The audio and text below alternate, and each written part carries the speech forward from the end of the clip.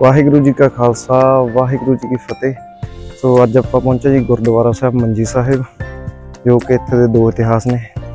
ਇਹ ਸਥਾਨ ਧੰਨ ਧੰਨ ਸ੍ਰੀ ਗੁਰੂ ਤੇਗ ਬਹਾਦਰ ਜੀ ਦੀ ਚਰਨ ਸੋ ਪ੍ਰਾਪਤ ਵੀ ਹੈ।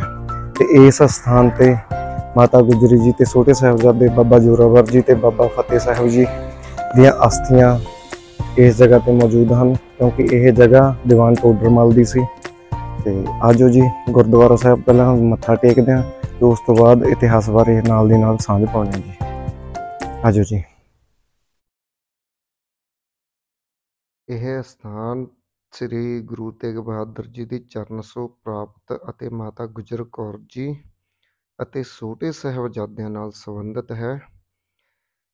ਉਸ ਸਮੇਂ ਸ੍ਰੀ ਗੁਰੂ ਸਾਹਿਬ ਜੀ ਨਾਲ ਮਾਤਾ ਨਾਨਕੀ ਜੀ, ਮਾਤਾ ਗੁਜਰ ਕੌਰ ਜੀ ਤੇ 300 ਸਿੱਖ ਸੰਗਤਾਂ ਦਾ ਜਥਾ ਸੀ। ਜਦੋਂ ਸ੍ਰੀ ਗੁਰੂ ਤੇਗ ਬਹਾਦਰ ਜੀ ਇੱਥੇ ਪਹੁੰਚੇ ਸਨ, ਗੁਰੂ ਸਾਹਿਬ ਜੀ ਜਿਸ ਨਿੰਮ ਥੱਲੇ ਬੈਠੇ ਸਨ, ਉਹ ਨਿੰਮ ਦੇ ਪੱਤੇ ਵੀ ਮਿੱਠੇ ਹੋ ਗਏ ਸੀ। ਇਸ ਤੋਂ ਪਹਿਲਾਂ ਇੱਕ ਹੋਰ ਜਗ੍ਹਾ ਜੀ ਉਹ ਵੀ ਬਾਅਦ ਚੋਂ ਦਿਖਾਵਾਂਗੇ। ਤੇ ਪਹਿਲਾਂ ਇਸ ਗੁਰਦੁਆਰਾ ਸਾਹਿਬ ਬਾਰੇ ਗੱਲ ਕਰਦੇ ਹਾਂ। ਗੁਰਦੁਆਰਾ ਸਾਹਿਬ ਜਵਾਲੀ ਜੋ ਜ਼ਮੀਨ ਹੈ, ਇਹ ਟੋਡਰ ਮੱਲ ਦੀ ਸੀ। ਜਦੋਂ ਟੋਡਰ ਮੱਲ ਨੂੰ ਗੁਰੂ ਸਾਹਿਬ ਦਾ ਇੱਥੇ ਆਉਣ ਦਾ ਪਤਾ ਲੱਗਿਆ, ਤਾਂ ਉਹ ਆਪਣੇ ਪਰਿਵਾਰ ਤੇ ਸੰਗਤ ਸਮੇਤ ਗੁਰੂ ਸਾਹਿਬ ਦੀ ਸੇਵਾ ਵਿੱਚ ਹਾਜ਼ਰ ਹੋ ਗਿਆ। ਤੇ ਗੁਰੂ ਸਾਹਿਬ ਕੋਲੋਂ ਸੇਵਾ ਦੀ ਮੰਗ ਕੀਤੀ ਤੇ ਗੁਰੂ ਸਾਹਿਬ ਨੇ ਉਸ ਦੀ ਸੇਵਾ ਭਾਵਨਾ ਦੇਖ ਕੇ ਖੁਸ਼ ਹੋਏ ਤੇ ਅਨੇਕਾਂ ਵਰ ਵੀ ਦਿੱਤੇ ਤੇ ਭਵਿੱਖ ਵਿੱਚ ਬਹੁਤ ਵੱਡੀ ਸੇਵਾ ਲੈਣ ਲਈ ਭਵਿੱਖਤ ਬਚਨ ਵੀ ਕੀਤੇ ਸੀ ਜੀ ਇਸ ਜਗ੍ਹਾ ਤੇ।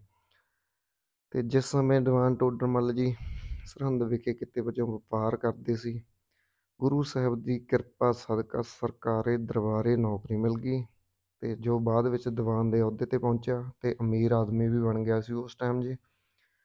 ਜਦੋਂ ਸੂਬਾ ਸਰਹੰਦ ਨੇ ਮਾਤਾ ਗੁਜਰੀ ਜੀ ਦੇ ਛੋਟੇ ਸਾਹਿਬਜ਼ਾਦਿਆਂ ਨੂੰ ਗ੍ਰਿਫਤਾਰ ਕੀਤਾ ਸੀ ਤਾਂ ਦੀਵਾਨ ਟੋਡਰ ਮੱਲ ਜੀ ਨੇ ਉਹਨਾਂ ਨੂੰ ਛਡਾਉਣ ਦੇ ਲਈ ਹਵੇਲੀ ਤੇ ਜ਼ਮੀਨ ਜਾਇਦਾਦ ਸਾਰਾ ਕੁਝ ਵੇਚ ਦਿੱਤਾ ਸੀ ਤੇ ਸਾਰਾ ਸੋਨਾ ਇਕੱਠਾ ਕੀਤਾ ਸੀ। ਉਦੋਂ ਤੱਕ ਸੂਬੇ ਨੇ ਛੋਟੇ ਸਾਹਿਬਜ਼ਾਦਿਆਂ ਜੀ ਨੂੰ ਤਸੀਹੇ ਦੇ ਦੇ ਕੇ ਤੇ ਮਾਤਾ ਗੁਜਰੀ ਜੀ ਨੂੰ ਵੀ ਸ਼ਹੀਦ ਕਰ ਦਿੱਤਾ ਸੀ। ਤੇ ਜਦੋਂ ਦੀਵਾਨ ਟੋਡਰ ਮੱਲ ਜੀ ਨੂੰ ਪਵਿੱਤਰ ਸਰੀਰਾਂ ਦਾ ਸੰਸਕਾਰ ਕਰਨਾ ਸੀ ਤਾਂ ਸੂਬੇ ਨੇ ਮੋਹਰਾਂ ਵਿਛਾ ਕੇ ਜਗ੍ਹਾ ਮੁੱਲ ਲੈਣ ਲਈ ਸ਼ਰਤ ਰੱਖੀ ਸੀ ਤਾਂ ਦੀਵਾਨ ਟੋਡਰ ਮੱਲ ਜੀ ਨੇ ਇਸ ਸੇਵਾ ਵਿੱਚ ਸਫਲ ਹੋਏ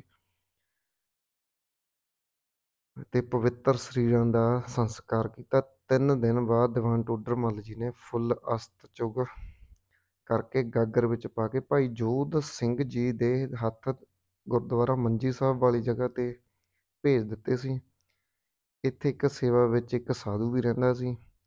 ਉਸ ਸਾ, ਉਹ ਸਾਧੂ ਅਤੇ ਭਾਈ ਜੋਤ ਸਿੰਘ ਜੀ ਨੇ ਇੱਕ ਟੋਆ ਪੁੱਟ ਕੇ ਇਹ ਫੁੱਲ ਅਸਤਾਂ ਨੂੰ ਦਬਾ ਕੇ ਉੱਥੇ ਥੜਾ ਬਣਾਤਾ ਸੀ। 1991 ਵਿੱਚ ਇਸ ਸਥਾਨ ਨੂੰ ਦੁਬਾਰਾ ਕਾਰ ਸੇਵਾ ਦੌਰਾਨ ਇਹ ਫੁੱਲ ਅਸਤ ਬਾਹਰ ਕੱਢ ਕੇ ਕੰਚ ਦੇ ਬਰਤਨ ਵਿੱਚ ਪਾ ਕੇ ਸੰਗਤਾਂ ਦੇ ਦਰਸ਼ਨ ਲਈ ਵੀ ਰੱਖੇ ਗਏ ਸੀ ਜੀ।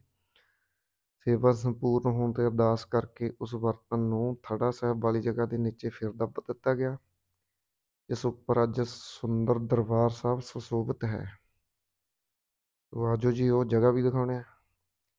ਇਹ ਹੈ ਜੀ ਉਹ ਥੜਾ, ਜਿਸ ਜਗ੍ਹਾ ਤੇ ਪਾਲਕੀ ਸਾਹਿਬ ਤੇ ਮਾਤਾ ਗੁਜਰੀ ਜੀ ਤੇ ਛੋਟੇ ਸਾਹਿਬਜ਼ਾਦੇ ਨੇ ਸਰੂਪ ਸੁਸ਼ੋਭਿਤ ਨੇ ਜੀ।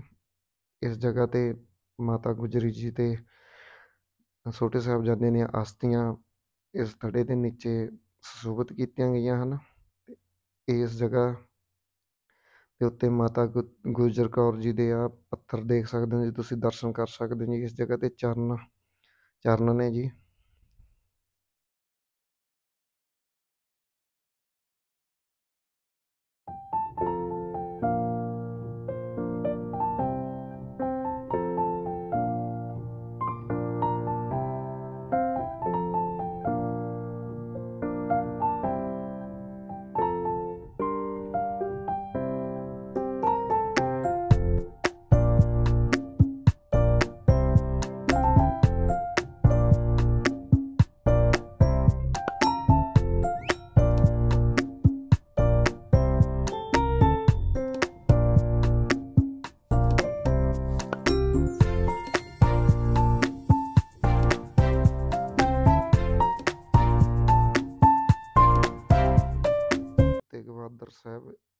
ਤੇ ਆਏ ਸਨ, ਤਾਂ ਸਭ ਤੋਂ ਪਹਿਲਾਂ ਇੱਕ ਗੁਰਦੁਆਰਾ ਸਾਹਿਬ ਦੇ ਬਿਲਕੁਲ ਸਾਹਮਣੇ ਹੈ ਜੀ ਜਗ੍ਹਾ। ਤੁਸੀਂ ਇਸ ਦੇ ਵੀ ਦਰਸ਼ਨ ਕਰਕੇ ਜਾਇਆ ਕਰੋ ਜਦੋਂ ਵੀ ਆਉਣਾ। ਸਭ ਤੋਂ ਪਹਿਲਾਂ ਇੱਥੇ ਆਏ ਸੀ।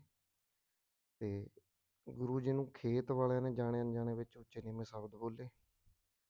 ਤੇ ਗੁਰੂ ਸਾਹਿਬ ਚੁੱਪਚਾਪ ਉੱਠ ਕੇ ਉਧਰ ਗੁਰਦੁਆਰਾ ਸਾਹਿਬ ਆ, ਜਗ੍ਹਾ ਬਣੀ ਹੋਈ ਜਿੱਥੇ ਥੜਾ ਸਾਹਿਬ ਹੈ ਉਸ ਜਗ੍ਹਾ ਤੇ ਜਾ ਕੇ ਬੈਠ ਕੇ ਅਸੀਂ ਲੰਘਦੇ ਨਹੀਂ ਦਰਸ਼ਨ ਤੇ ਅੰਦਰ